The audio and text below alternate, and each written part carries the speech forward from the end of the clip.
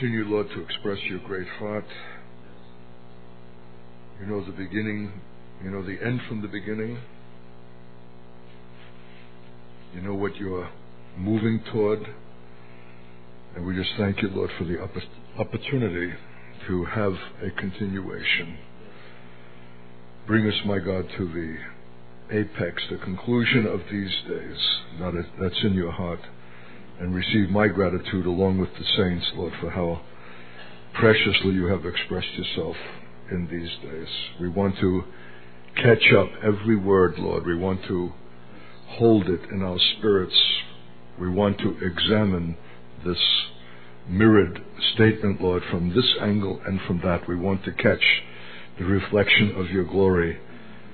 So we, we thank you, Lord. Precious God, come and continue and address us as the high priest and the apostle of our confession, our prophet, priest, and king, and delight your own soul in doing it. We thank you and give you praise in Jesus' name. Amen. Well, I thought maybe a little review of the great Psalm 102. Make sure that uh, we have the sense of it. I was looking over these notes and I thought, boy, they're good. And um, it wouldn't hurt to uh, hear this. That began with the distress of the psalmist, which was calculated to bring him to the acknowledgement of the divine sovereignty and when Israel and ourselves will recognize the Lord in our severest dealings as enthroned, and that his name is really the issue, not our relief, and that this is greater than any consideration for ourselves, then we will have the faith that understands and expects uh, the divine deliverance in the time that is appointed for something of so ultimate a kind as to affect the nations is the demonstration of God through a transcendent church. I hope when you'll hereafter read Psalms and elsewhere, and it talks about his praise to all the ends of the earth, or show the nations that you are God. Show them that they're but a spit in the bucket. Put the nations in their place. There's like a theme that runs through the Psalms that shows that there's an ultimate intention of God for the nations. Everything is calculated to that end. For the earth is the Lord's, the nations and the, and the fullness thereof, and those that dwell therein. So we need to enlarge our view to understand God's scope and his concern for his whole creation, and that the Bible begins, the whole redemptive drama begins with the, with the sons of Noah and the uh, races or nations of mankind that issue from them.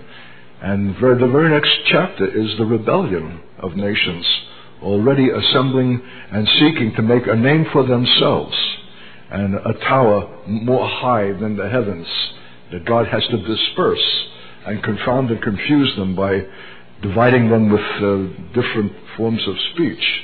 So the very inception of the whole drama, out of the flood, hardly have the waters receded, so to speak, then the nations are showing themselves in rebellion to God.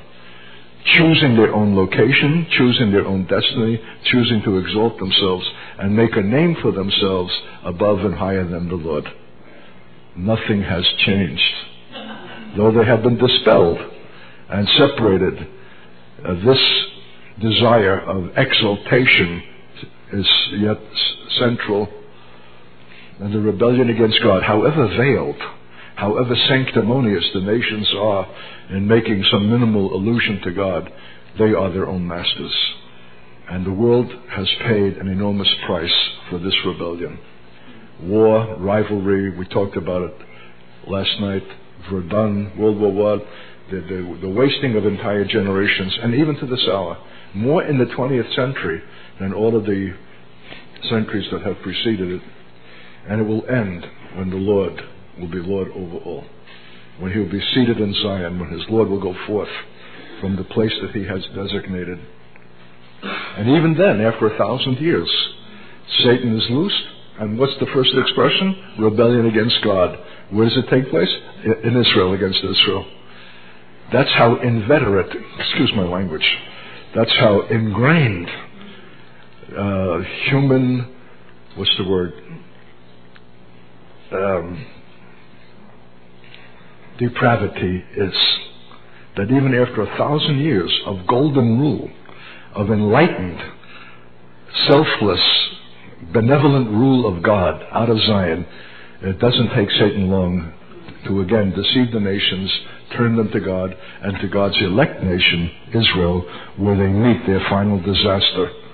And then there's a new heaven and a new earth, and um, the Lord has fulfilled everything, and the whole earth will be filled with His glory.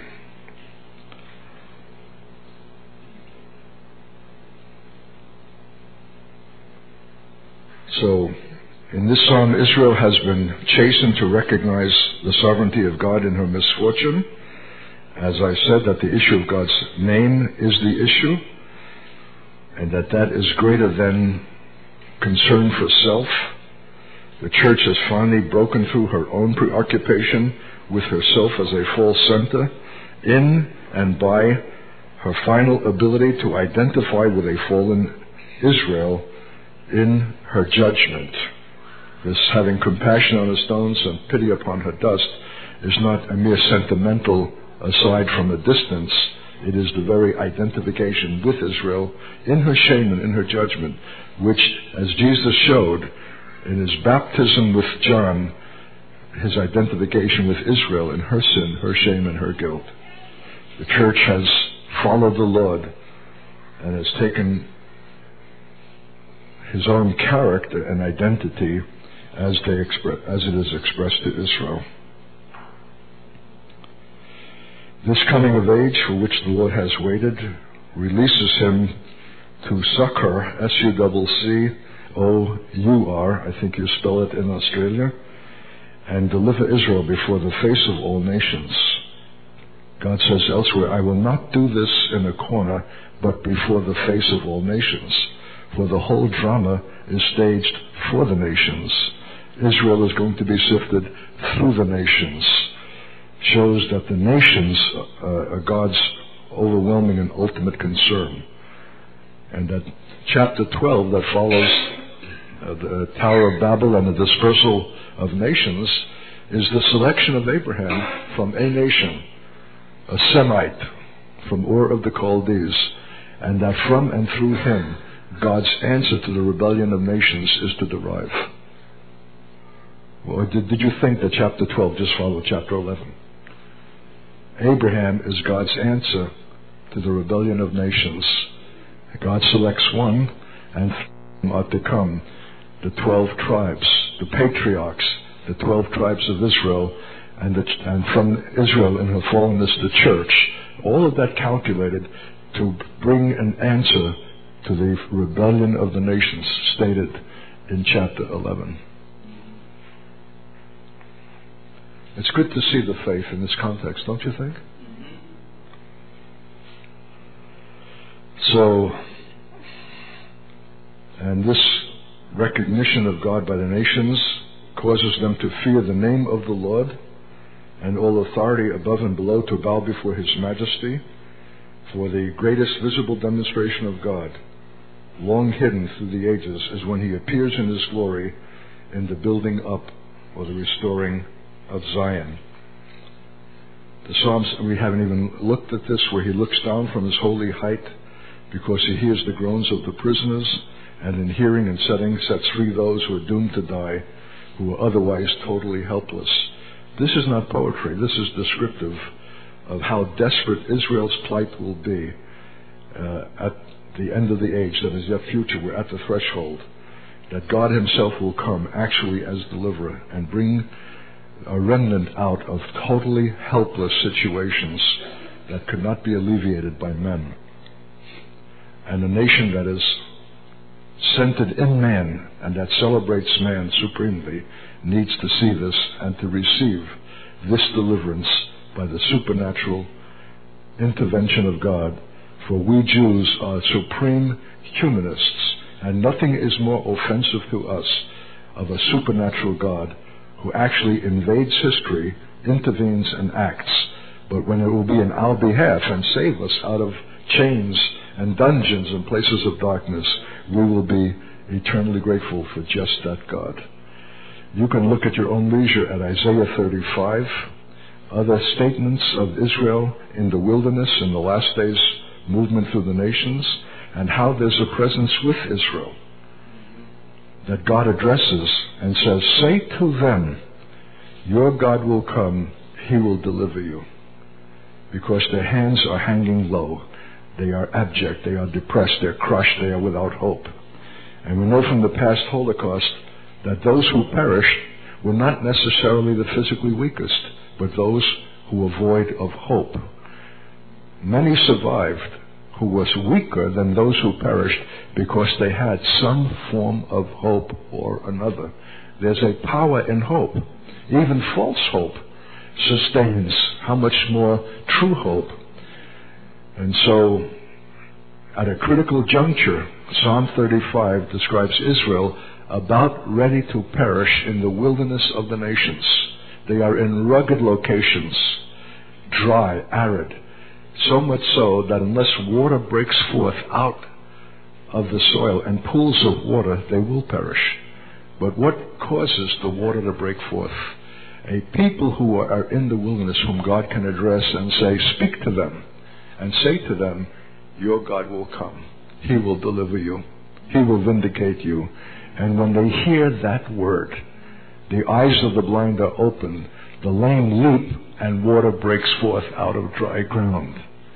If that is not God's people, the church, the servant people of God, able to speak to Israel who are, who are disconsolate and nigh unto death for want of any hope, there's no light from their tunnel, they've never been in a wilderness before. Have you ever been lost in a wilderness? It's terrifying. You can be the most sophisticated Jew so long as you're sitting in your academic office or your penthouse condominium. But be in the wilderness, you don't know how you got there. You don't know, there's no visible trail. There's no way out. It's terrible sense of lostness and being stripped.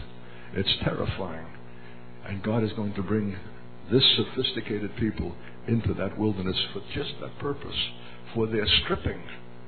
And they will be immensely grateful that there'll be someone there to lead them, guide them, and speak to them. So, how is it that when God says, tell them, why doesn't He tell them Himself? For the same reason that He doesn't raise the bones Himself. The church has a role to play for God, as God, in His authority and in His love. For that statement, Your God will come, opens the eyes of the blind and makes the lame to leap. Because it is not a human word. It's not a mere word of uh, kind intention. It is the word of the Lord. It is a prophetic word that constitutes event for the despairing. The whole issue, and this saves Israel, who would otherwise die before the Lord comes. They have to have a word of hope before the Lord comes. But who is there that will be in the earth at that time that can speak a word of that kind, that can bring that kind of hope and that kind of response before the Lord comes? that is more than and other than mere human well wishing. Are we capable of that word now? Can we speak a word when the Lord will direct us that is not some solo performance, but the expression of the corporate life of the church with one mind, one heart, and one will to speak what God calls us? Can we come into that place of obedience? Can we be commanded? Has God dealt with the, our various opinions? Well, I don't know if that's the word. Maybe they should hear this. Maybe they should be reprimanded. Maybe. There won't be any maybes in that day. He will have a people who are totally obedient, totally submitted.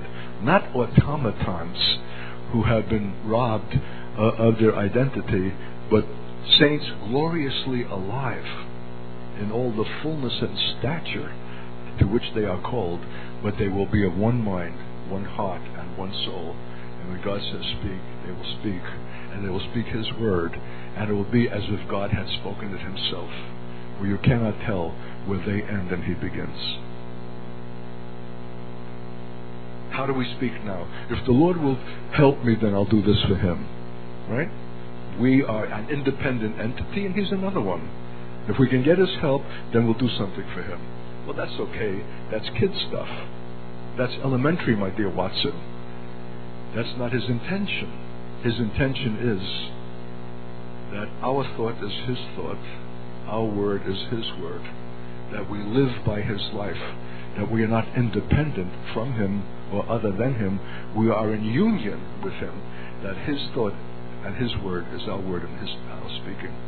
And therefore it has a power of a creative kind, of a prophetic kind, to raise the dead or to give hope to the despairing, and even to make the wilderness break forth into pools of water.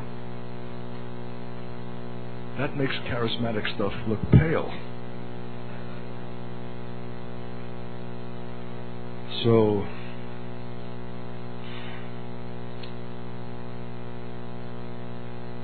his name is revealed when he looks down from his holy height and he speaks and he hears the groans of the prisoners and sets them free.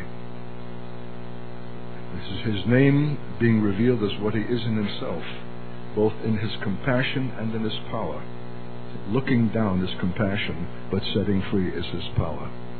And that one act, provoked by Israel's desperate need, the Lord reveals himself as God. The God is both compassionate and able. And that this knowledge that is revealed or declared in Zion affects all nations and gathers them to worship the Lord uh, and bring their kingdoms. So all rebellion is put down, everything is submitted to God, uh, and His praise rings forth from all the earth. Because He is its creator, greater than His creation, and is the same forever. He regards the prayers of the destitute and will not despise them. And we said that the destitute is not Israel, but those so identified with Israel in her judgment that our prayer is the prayer of the destitute. It is a desperate prayer. It's not praying for someone, the peace of Jerusalem, as we now pray, that costs us nothing. It is being in the situation of Jerusalem, and that when we're praying for their peace, we're praying for our peace, for we are joined and one with them in their plight. That is the prayer of the destitute. And that's the prayer that he hears and that he answers. And then it said the psalm ends with, Let this be recorded for all generations to come. Why? Because there's no, nothing further to come. This is the end of history and the commencement of the millennium. This is the last divine act, the last intervention of God, the last demonstration of Himself, so much so that all nations now bow before Him. That's the, that was the whole purpose for history. History has been accomplished. But what about generations yet unborn? How shall they praise the Lord who have not been participant and have not witnessed this? Well, they shall hear of it uh, by the report. Let this be recorded for all generations to come. God's final and ultimate last demonstration of what He is in Himself, so that people yet unborn may praise the Lord. So, everything ends, everything is completed. The union of Himself with His church, Israel redeemed and restored, and the nations submitted to God, and His blessings fill the earth. Sounds like a snap. Glib, easy little formula. But the role of the church is crucial to all. When my servants, what is the set time to favor Zion? When my servants shall have compassion on her stones and pity upon her dust. If you do not, if I have not yet convinced you that present and modern Israel will, re, will be reduced to rubble and to ruin, read the prophets read the cry in Isaiah, I don't remember which chapter, 49. The land has become our destruction. Read Jeremiah 30, 31, the time of Jacob's trouble, when I tried to persuade the leading prophetic voice in Israel, whom I've known for 30 years, who happens to be Dutch, that there's a time of calamity coming for Israel, and that the scripture shows that Jerusalem will be rebuilt upon its own ruins. Oh, Artie said, Look, it's happening right now. I'm in his office in Jerusalem, and there he shows me the earth moving equipment. I said, You dear man, read the scriptures carefully. Yes, Jerusalem will be rebuilt upon its own ruins, upon its own heaps. And then a, la- a lot of verse in the same chapter says, As unto the Lord. I said, This building is unto man and will constitute the ruins. But that building that will be as unto the Lord will be appropriate for the king who will have his sanctuary and dwelling at Zion. I'm embarrassed to go to Jerusalem now. I have no pleasure in modern Israel now. The weeds, the cracks, the jerry built houses, the neon signs, the, the, sleazy dives and amusement and all that. Is that a place fit for a king? That has got to come down. And all that it represents and something be raised up as unto the Lord is more than a catchword. Unto the Lord is appropriate for the Lord. Holy, holy, holy. And what then would be a bride appropriate for the Lord? Adorned for the bridegroom, we know is more than, than hair and jewelry. What is the adorned bride, wife of the First Peter chapter three? A woman of a quiet and meek spirit, which in God's sight is of great price. Imagine a church like that. In union with the Lord, having the same heart, mind, personality, compassion. Okay, now how does communion fit into all this? Two great sacrament saints that have suffered loss in our generation because they have not been fitted in to the understanding, the cosmic view of the faith, and therefore have become trivialized or have lost their greatest and significant meaning. Baptism for many is merely getting wet. As I have been, uh, what's the word, pinching saints in all these weeks of travel, if your baptism was only an obedience, you've only gotten wet. You've only received the, the value of baptism if you, with understanding and faith, knew that you were being buried. And desired burial, because why should you let a corpse rot and stink that has been willingly brought to death because you know in yourself that in yourself, that is in me and in my natural man, is no good thing. Very few saints have ever entered the waters of baptism with the intention of being buried, only with the intention of getting wet and fulfilling some kind of uh, minimal obedience, and therefore they come out, they get dried off, and they're no different than when, different than when they went in. Unless we have died with him and been buried with him, how shall we also be raised with him unto newness of life? The whole issue of resurrection and the ability to move and live and have your being in that life is the union with that life because you have first been in union with his death. Baptism is a brilliant provision from God to have union with him in an act that we perform in waters that he has described as representing joining him in his death and burial, that we might be raised up from them unto newness of life, no longer to live unto ourselves nor for ourselves, but unto him and by him and for him. What makes the newness of life new is that it's no longer serving our purposes but his. That's the newness of it. And in a world that is hostile to God, at enmity with God, and even a religious world in which such a believer will stick out like the proverbial sore thumb and draw attention to himself, if not opposition and persecution, we need the life of God. Oh, what do I have to do to persuade you?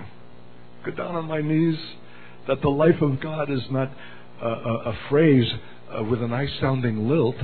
It is the provision of God that we might serve Him. that we might fulfill this great cosmic destiny. It cannot be filled by well meaning intentions, but I know you would prefer that it would.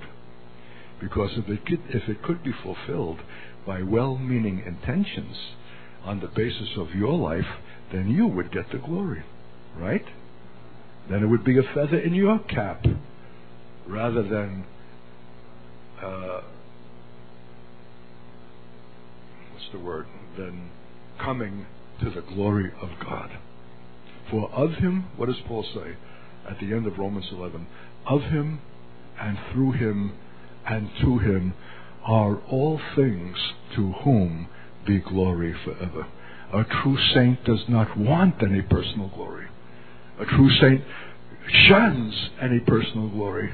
A true saint who's a saint knows that he knows that any ability that he has, any enablement, any grace is God. That's why he can receive compliments of the kind that he's paid. It's to the glory of God. Because what were we? We, we were taken from a dunghill.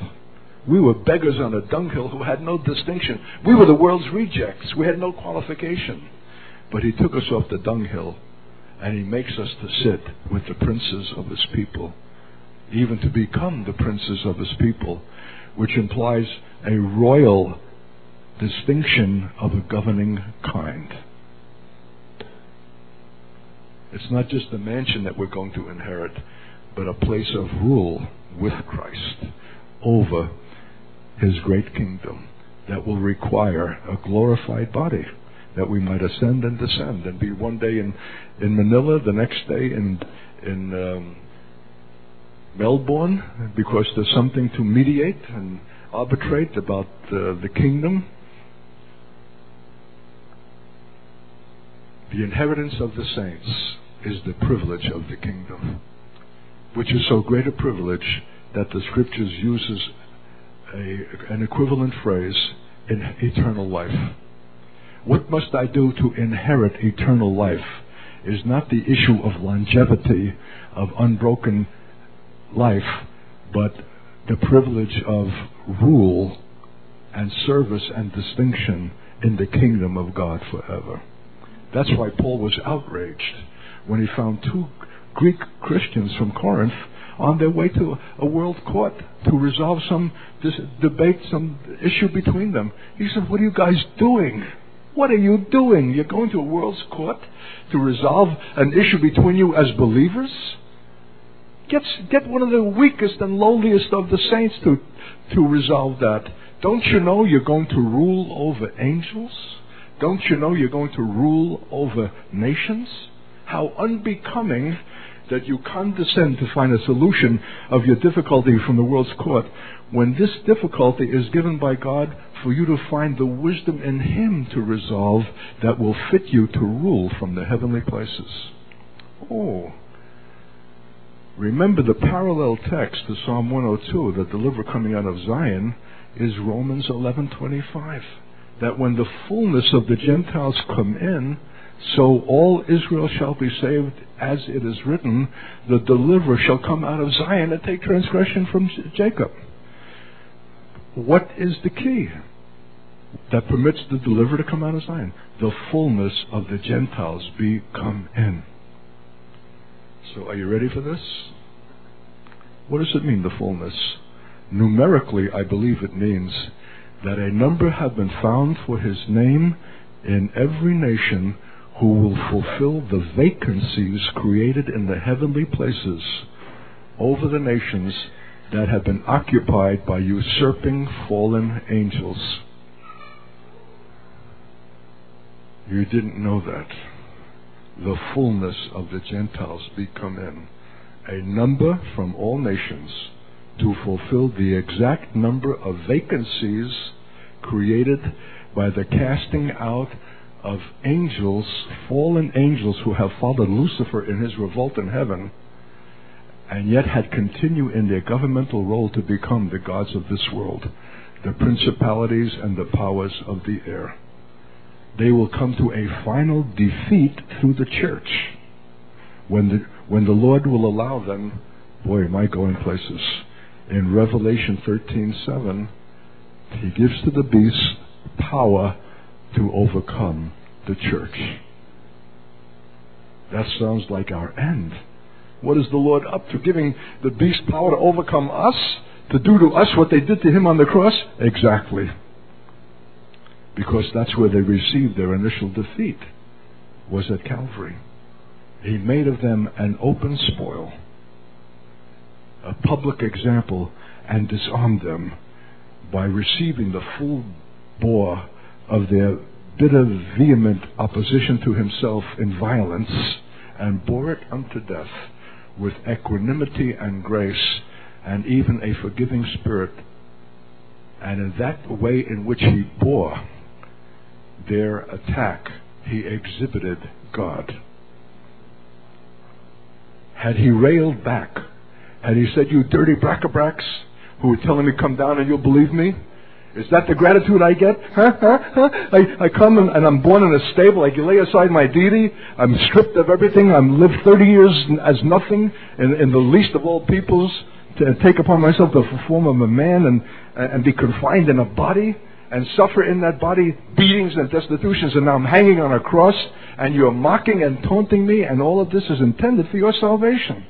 Well then, you get what you deserve, you dirty brackabracks. No. He went as a lamb to the slaughter and opened not his mouth. And you can believe he was not swallowing down this anger. He was full of compassion and mercy even for those who were inflicting his death. Father, lay not this sin to their charge. And some dumb centurion who had hung many men on crosses and heard them squirm and rail and carry on. That's what he expects. That's what men will do when their flesh is attacked and their life is threatened. He saw this one who did not clutch his life but gave up the ghost in such magnanimity and grace that he had to say, truly, this is the Son of God. You know what our destiny is? To reiterate the Lord's death at the end of the age and bear our suffering unto death with the same grace that he exhibited. That what he performed in himself, he will have expressed again in his body. And that is the end of the age. I didn't plan to tell you that. I don't know that you're ready. But it has to be on record. Because I may not come again. I'm telling everyone this is the last visit. So something has to be stated. And later on, he'll bring it to your understanding. And what's our reward for this? The same that was his reward. The resurrection of Jesus Christ was the statement of the Father's acceptance and approval of the Son's sacrifice. When Jesus went down into the waters of the Jordan and came up, the voice of the Father rang out, This is my beloved Son in whom I'm well pleased. What he has done in this humiliation of identifying himself with the sins of Israel and going down into it is a preview and a picture of his last act. His first act is the picture of the last act. His submission unto death for the salvation of sinners, his own nation. And in doing that, he is revealing God. Nothing so reveals God as Jesus on the cross. Nothing more reveals the triune God than Jesus on the cross. The Son crying out to the Father, My God, my God, why hast thou forsaken me? And giving himself as a sacrifice without spot by the eternal Spirit and not by some human courage. Both the Father, the Son, and the Spirit are exemplified and demonstrated in the final act of Jesus on the cross. The cross is ultimate, and it reveals ultimately the God who was crucified. We Jews have paid such a price in rejecting that testimony and dismissing the crucified Christ as some misguided character who, who had messianic pretensions and ran afoul of the Roman authorities and suffered their death. It fixed us in a monotheism that is false once the triune God is revealed. To continue to assert a monotheistic belief in God after the revelation of God in his triune fullness becomes now error. It's not the whole truth, and therefore it's a lie. And how does a sin bring its own judgment? Our insistent monotheism inspired Mohammed to form another heresy called Islam. It's a monotheistic cult inspired by a defunct Judaism and an equally defunct Christianity, who, though it, it subscribed to a triune God doctrinally, lived and operated as if God is a monotheistic God. And what has come now to haunt Israel? What is the greatest threat to Israel's life? This heresy. You see how your sins come back to haunt you. So the cross is, re- is crucial. And Israel's final suffering and ours is a reiteration of the cross. A final statement to the powers of the air, to a people who will not say, How come me? Why do I have to suffer this? But they count it all privilege. And in it, in their death, they exhibit such a grace. They, they defeat the powers by being defeated. They overcome him by being overcome by the blood of the Lamb, the word of their testimony, and have loved, not having loved their life unto death.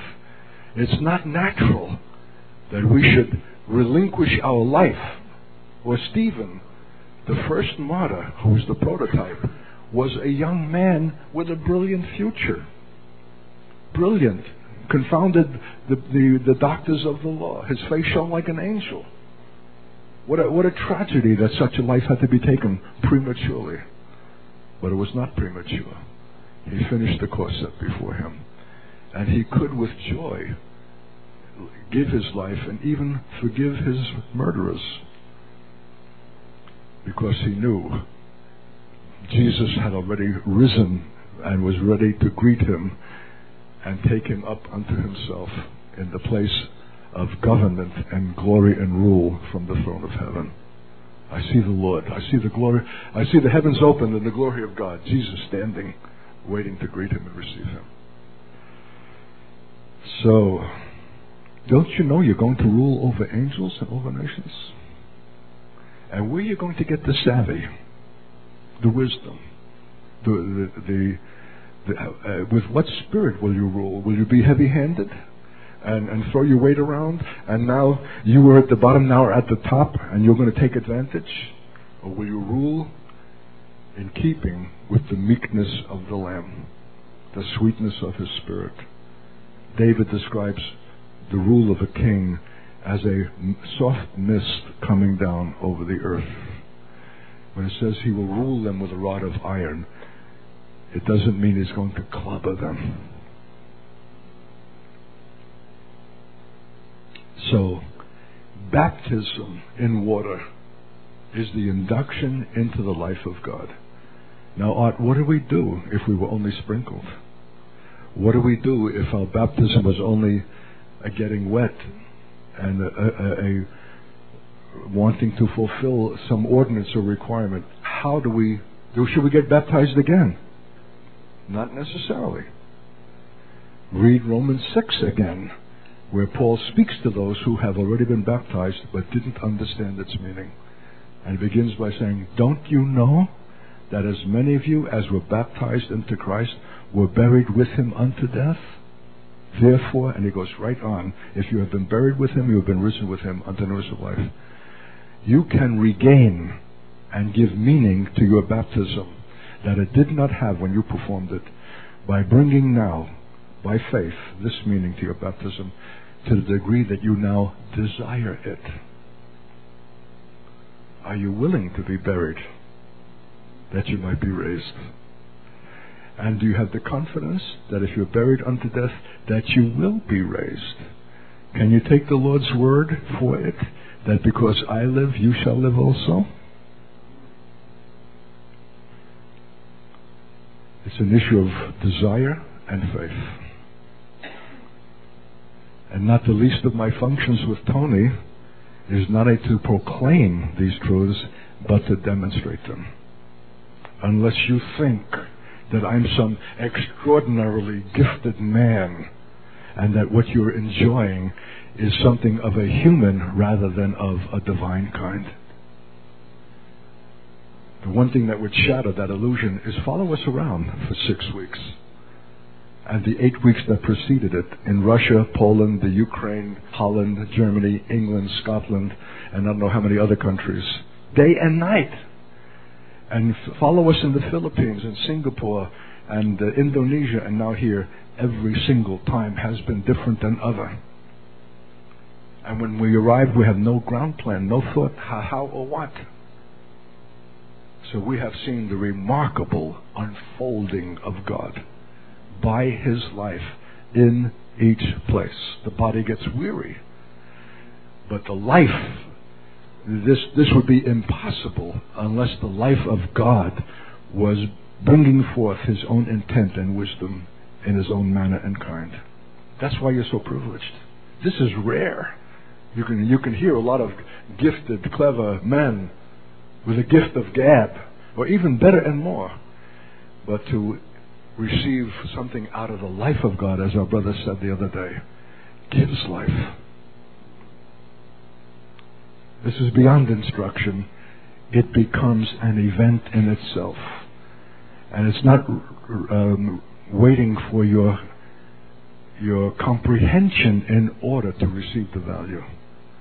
That will come later. As the deposit has been made, the word has been sown by the life of God, and over a course of time, the Spirit of God will bring it progressively to your understanding, but the work has been performed as only He can perform it.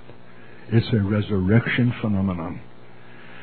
Now, why is it so important that you should not only hear such a word, but recognize the source of it? Because you're called to fulfill the mandate and the charge that has come to you in these days by the same life by which it has come. You, you have received it by the life, you'll fulfill it by the life. That's why the issue of baptism as entry into the life and reckoning yourself dead on the basis of your baptism and alive unto God, Romans 6:11 is the continuing key. See how important these sacraments are and see how they have been trivialized by the church and robbed of their ultimate meaning and made only religious. What is the other sacrament?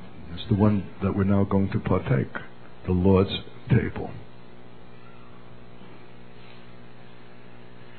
which in my early days I shuddered when the month, that once in the month occasion came in my Pentecostal church when we were given little plastic cups and a wafer. What an ordeal. Couldn't wait for it to get over. It was so without meaning to quaff something back at some uh, note by the minister in charge. Okay, let's take the cup together. The fact of the matter is, we were not together. We were alongside each other, but we were not together. Communion is what this is about. It's union with God and with man. And that validates the reality of what it is that we're eating and drinking.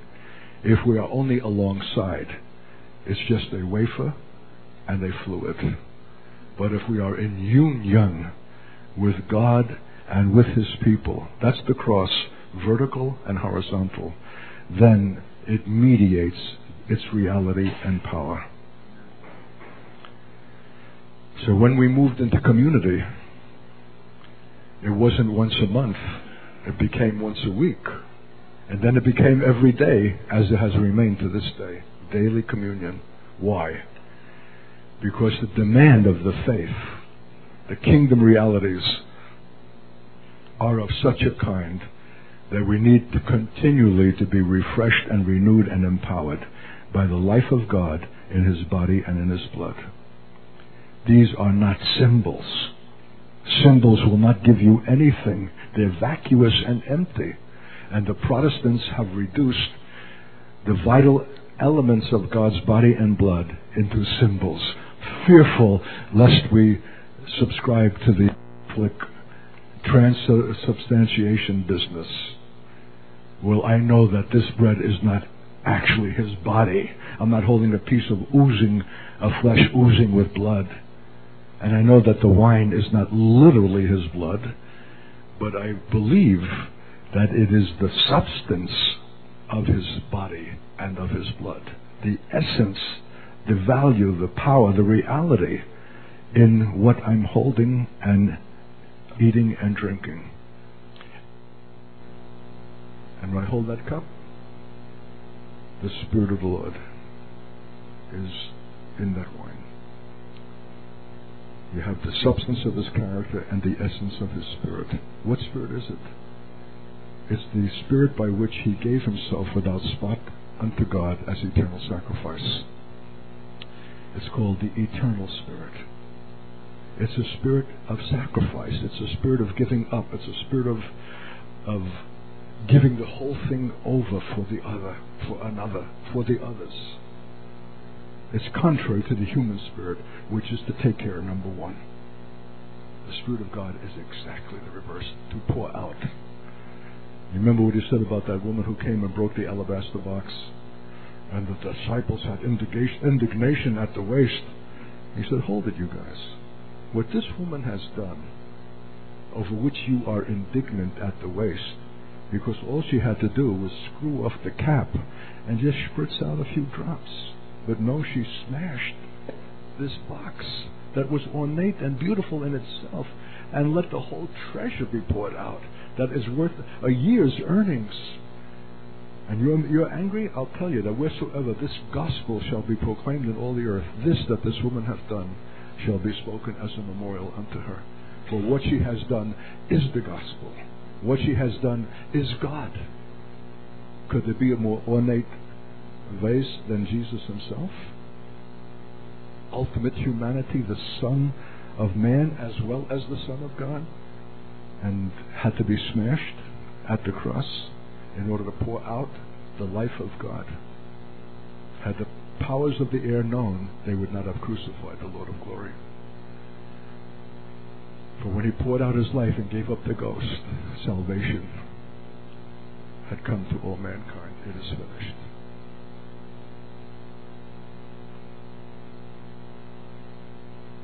You know that when the Jews have Kiddush on their Shabbat, when the father of the house pours out the little cup of wine and makes the bracha, the blessing over the wine, Blessed art thou, King of the universe, who has given us the, the grape of the vine. They have it in a saucer. I hadn't seen this before. I went to this ultra Orthodox community in Brooklyn for Shabbat. And they got the cup and the saucer, and he's pouring the wine, and it's coming perilously close to the lip of the cup. And I almost want to say, hey, uh, stop! You're, you're going to overflow. As if he, w- he wouldn't hear it overflowed the cup and dripped down into the saucer.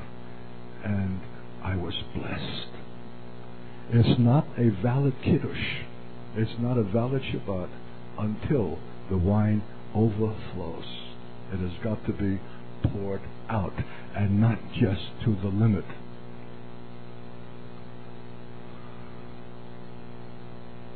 New Zealand and Australia are to the limit.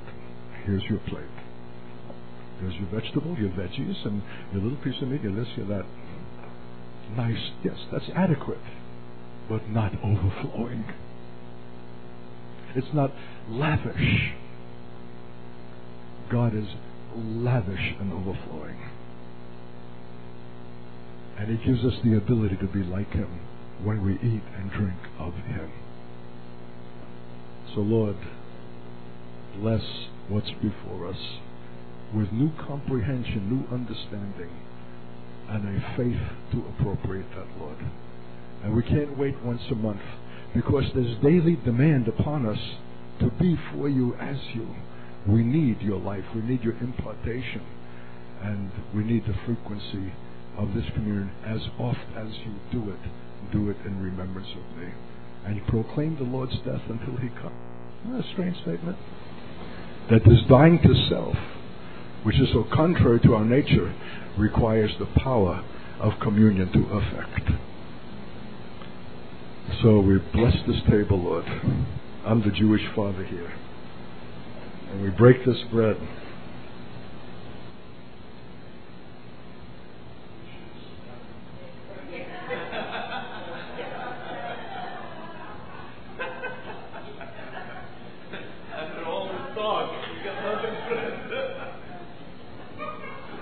Forgive them, for they know not what they do. Overlook, Lord. and bless it, my God. And impart the essential quality of your life to this bread. For we want to partake of God. Lord, or else what are we? We're, we? We would be ridiculous to try and imitate you, to play act you. It would be seen through for a mo- in a moment and the powers of darkness would scoff and, and yawn in our face if we made any supposed demonstration of you that is not you. The only thing that they're required to recognize and to fear is the authentic God.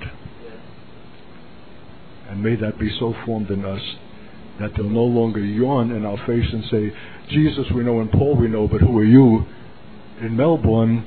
But they will tremble, for they will know in us yourself, because we eat and drink of you that we might serve you acceptably.